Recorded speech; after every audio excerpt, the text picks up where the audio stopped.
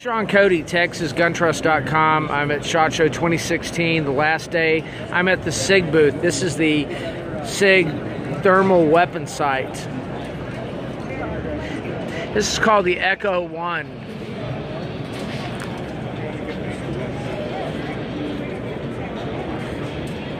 Now, interesting thing about this is it doesn't have a traditional eyepiece or ocular piece. It's just got a little view screen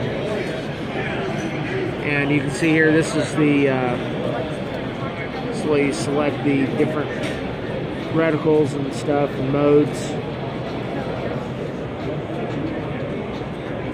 So this is going to be an interesting little uh, economical thermal weapon sight for guys that don't want to get don't want to jump into the thermal weapon game with a $7,000 optic so going back to the front of the unit, it takes uh, two CR123 batteries.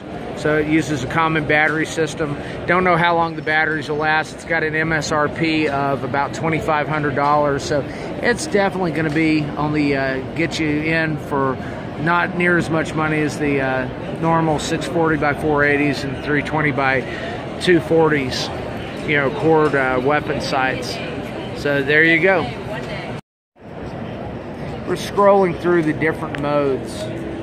So you can see people in the frame there. So this kind of gives you an idea of uh, how you're going to use this weapon sight on your rifle. It's you're looking at an LCD screen. There's your menu. There's your different reticles. So it's a pretty full-featured little uh, thermal weapon sight for the price.